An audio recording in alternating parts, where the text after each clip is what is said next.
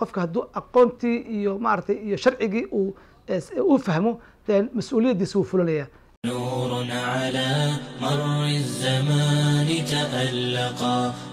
mudane spika soo dhowaaw maanta xafiiskaadaan kugu soo booqanay muddadii xilka aada haysay waxyaabo badan baa kuu suurtagalay maanta ugu dambeysay waxaad meel mariseen e, muddo gaashe in ay municipality noqoto. E, Kusoo dhawaaw microfoonka municipalityga muhiimadda uu leeyahay maanta aada mariseen iyo warbixinteeda la sii shire iyo jaraa'idinta la socoto waa saa sheegtay maanta oo khamiis ah baarlamaanka wuxuu ansixiyey ama baarlamaanka gaarisa wuxuu ansixiyey municipalitigii madoogaashe oo ah midka afraad sida aan xilka u qabtay hadda laba sano ku dhow ayaan xilka hayaa. Afar municipality baa la mariyey. Muhiimadda ay leedahay municipality lagu sheegayna waxaa way yacni adeegyadii dadweynaha loogu talagalay ayaa lagu sii dhaweynayaa. Af ingiriiska wuxuu dhahaa after devolution is decentralization. Yacni dowlad yaroy ayay m ku dheheen reer reer masalani marka saa loo tafsiiro dowladda weyneed oo dowlad goboleedkii ama devolve governmentkii oo joogtay magaala madaxda garis ayaa haddana macluumaadkii ama adeegyadii loo sii gudbinayaa ilaa iyo degmooyinka ka sii hoose halkan. Taas waxay fududeyneysaa dadka dadweynaha inay helaan maaragtay adeegyada dowladda loogu talagalay inay bixisaan sida caafimaadka biyaha maaragtay magaalooyinka maaragtay nidaafadda magaalooyinka jidadka loo furaayo. Soo shaqadii horaan ay dadweynaha u soo doonan jireen ama laga xukumi jiray magaala madaxda gaarisa county ayaa hadda la geynayaa mudogaashe masalani baa la geeyey waxaa la geeyey bura so taas ayada xamaynahay waxaa waa yani muhiimadda ama maqsidka loogu talagalay devolution ay ka mid tahay. Mudane saddex dowladood baan soo marnay oo countiga ah maxaa ku soo aadiyey xil xilliga adi aada xilka haysay in la meel mariyo afartaasbo waxaan dhihi karaa of course not by chance ma ahaan karto iska nasiib ma ahaan karto laakiin waxay u baahan tahay juhdi iyo dadaal iyo fikrad ay u baahan tahay. Waxaan leenahay maxay dhici kartaa aniga khibradda aan leeyahay ama aqoontayda ku saabsan yani maaragtay sida adeega bulshada inay xaq u leeyihiin dadweynaha. Waxaan ka shaqeyn jiray qolada u n ta ama laanta maaragtay u n ta baan u shaqeyn jiray laamaha ka mid eh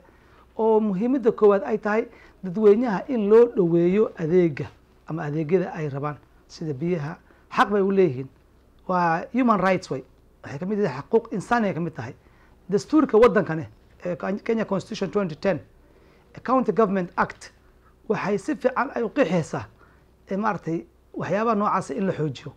Laakiin waxaa ii howlgeliyey oo isi fududeeyey oon rabaa inaan mahad weyn u celiyo xildhibaanada isla shaqeyno ama mudanayaasha oo aada iyo aad maaragtay juhdi u geliyeen inay dadkooda maaragtay ay ay codeeyaan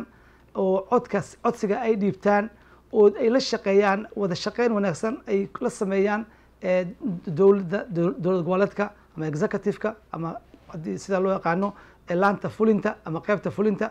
So wanaaga ama wada shaqeynta xoogga oo ka dhexeeyo labada laan ayaa horta fududeeyey midda labaadne waxay tusaysaa mudanayaasha hadda maanta joogaan oo baarlamaanka saddexaad ama qeybta saddexaad ah inay yihiin dad maarata aada iyo aad uga dadaalayo dadka soo doortay xilalkooda ay fushanayaan. Anigana hadda maadaamaan speakerooda waxay tusaysaa wada shaqeyntii ama wanaagga naga dhexeeyo annaka iyo mudanayaasha. Because anigu waxaa dhici kartaa inaan leeyahay higsi maaragtay ama hadaf aan leeyahay ama higsi aan leeyahay. Laakiin waxaa le hal fool hal fare fool ma dhaqdo. So keligeyga ma awoodi kari. So i think waa wada shaqeynta wanaagga isku xirnaashada wada tashiga naga dhexeeyo anaga iyo mudanayaasha aada u dadaalayaan. Midda saddexaad waxaan malaynahay tababar badan baan sameynay oo annagoo maaragtay aan ku dhiirigelinayno aan tusnay oon barnay mudanayaasha xilalkooda oo ah midda representation dadka inay mathalaan oversightka inay ilaaliyaan hantida dadweynaha iyo legislation ay sharci dejiyaan. Saddexdaa shayne sidaan u soo galay dadaal weyn baan gelinay in maaragtay mas'uuliyiinta ama mudanayaasha xilkooda